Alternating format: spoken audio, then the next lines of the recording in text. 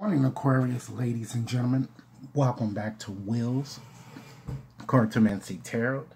Hey, ladies and gentlemen, what I like to do is to go on and just give you a how your ex truly feels about you reading, which will be valid until the end of this month.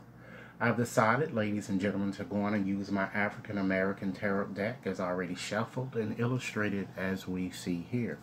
Okay, so ladies and gentlemen, again, this reading is valid until the end of this month. And um, while going through this reading, ladies and gentlemen, if it resonates, go on and give it a big thumbs up. If you've yet to subscribe to my channel, please take a few moments to do so now. Okay, let's go on and get started here with just examining the card that fell to the bottom of my deck here. We have this Eight of Pentacles, okay? So the Sun rules this card, and of course it's connected to Virgos, Taurus, as well as Capricorn. And ladies and gentlemen, this card is in fact all about self-confidence, you know, proficiency and devotion. Therefore, your ex uh, feels that you are kind of willing, you know, ladies and gentlemen, to give your union perhaps another shot. As he or she kind of feels that you really want a strengthened um, commitment, but he or she might also feel that you're somewhat naive you know, when it comes to matters of the heart, ladies and gentlemen. In any event, I'm kind of feeling that your ex feels that you want to kind of start over on a new plateau of experience, of experiences, if you will. Okay? Let's look at your next card here. We have, um, um, we have that Ace of Swords um, card that kind of falls there in your reading, okay? And that refers to air, an air type sign, and um, Libra, Gemini, and or Aquarius as yourself. And this card is all about truth, you know, initiative and clarity of mind.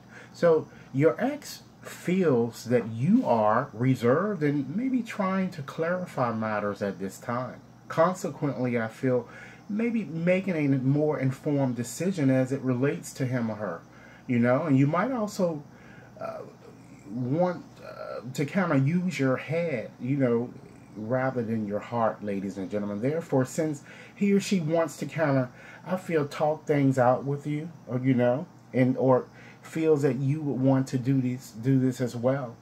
Um, but this card is kind of suggesting that if you do decide to go on and just have a discussion with your ex, kind of get old, get rid of old or old emotions that you know have not been working for you, and kind of resist your desire, um, ladies and gentlemen, to kind of control this, this situation. Okay, just let it flow naturally. Okay.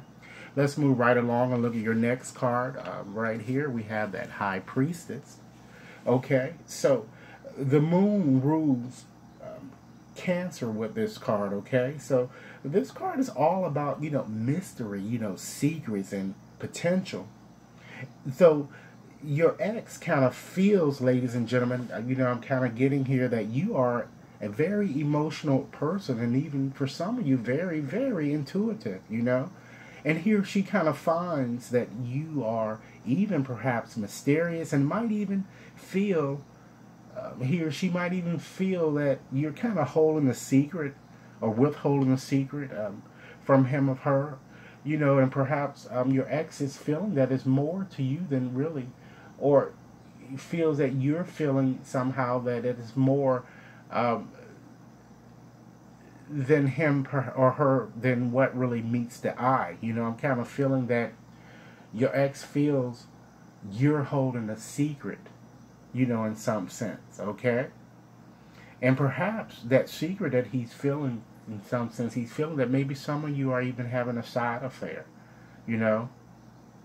However, he or she does feel that, you know, i'm kind of feeling that he feels, he or she feels that, you know, you're kind of feeling the same um, karmic type feelings that he's feeling as if, or she's feeling that you two are kind of share a very strong psychic, uh, you know, type connection with one another, okay?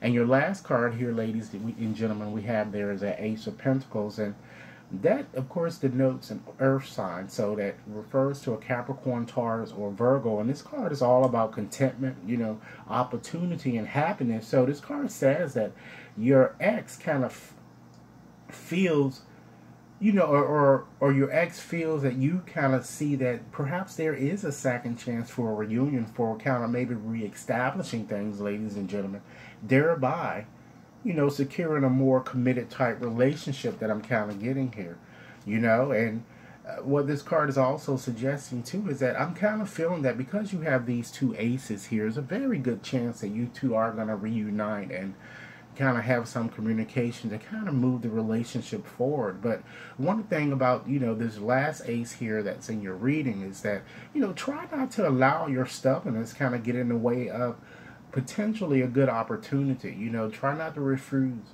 you know, various opportunities that might come up in conjunction with this person, perhaps that you may want to reconnect. Okay? Or this person with whom you'd like to reconnect. So, ladies and gentlemen, this is what I have for you. I certainly hope that this reading has offered a thought for you. I'm going to also be following up um, shortly with a more gender based type of reading of who's coming towards you um, as well. So, once again, if this reading resonated, go on and give it a big thumbs up. If you've yet to subscribe, please take a few moments to do so now. Ladies and gentlemen, I certainly will be looking forward to hearing your comments. And if interested in a more personalized reading, you can contact me at WAT61073 at gmail.com. Do enjoy your day and thanks again for viewing.